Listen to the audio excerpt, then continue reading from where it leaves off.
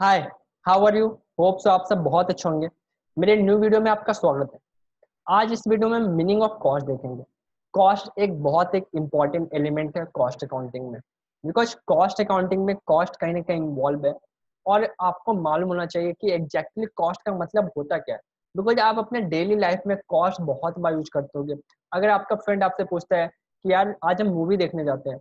तो आप पूछते हो, भाई, टिकट की कॉस्ट क्या है? अगर आपका फ्रेंड आपसे पूछता है कि, हमें कहीं घूमने चलना है तो आप फिर भी पूछते हो कि, यार ट्रैवलिंग की कॉस्ट क्या आ जाएगी? अगर हम घूमने जाते हैं तो हमारी कॉस्ट क्या आएगी?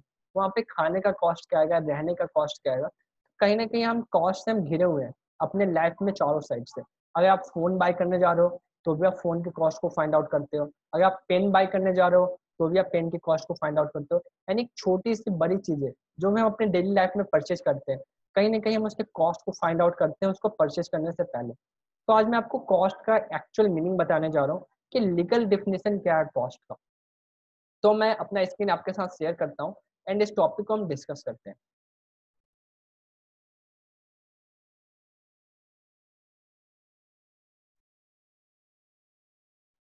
Cost cost is a measurement in monetary term देखो मेज़रमेंट का मतलब क्या होता है? मेज़रमेंट का मतलब होता है किसी चीज़ को मापना in the form of anything but यहाँ पे जो हम मेजर करेंगे, वो मनी के फॉर्म में मेजर करेंगे। ठीक है? यानी जब भी आपसे मैं कोई कॉस्ट पूछूँगा किसी पर्टिकुलर आइटम की तो आप मनी के फॉर्म में बताते हो। अगर आपसे मैं पूछता हूँ कि फ़ोन की कॉस्ट कितनी है तो आप बोल दोगे टेन थाउज़ेंड ट्वेंटी थाउज़ेंड जो भी होगा एज ए केस में भी। तो आपने जो फॉर्म यूज़ किया मनी का फॉर्म हुआ, जिसको हम क्या बोलते हैं मॉनिटरी फॉर्म ओके तो cost is a measurement in monetary terms of the amount of resources use for the purpose of production of goods और रेंडिंग ऑफ़ सर्विस तो इस प्रोडक्ट की जो कॉस्ट होगी, इसमें क्या क्या चीज़ें लगी है? इसमें हमने क्या क्या रिसोर्सेज यूज़ किया? तो इसको प्रोड्यूस करने के लिए हमने मटेरियल यूज़ किया। इसको प्रोड्यूस करने के लिए हमने लेबर यूज़ किया है। और भी हमारे बहुत सारे खर्चे होंगे जो इस पर्टिकुलर पेन की कॉस्ट में इंक्लूड होगा। तो उनको जब हम एग्रीगेट करते हैं, उसको हम बोलते हैं कॉस्ट ठीक है measurement in monetary terms of the all amount of resources use for producing goods और सर्विस अगर मैं इन सिंपल लैंग्वेज में बोलूँ आपसे तो cost in simple words mean the total of all expenses जो भी आपका टोटल एक्सपेंसेस हुआ, उसको जब आप एग्रीगेट करोगे तो जिसको हम क्या बोलेंगे? कॉस्ट अब मैं आपको एक एग्ज़ाम्पल देता हूँ।